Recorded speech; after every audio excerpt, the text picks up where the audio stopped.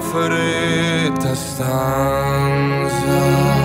Guardi le stelle che tremano d'amore e di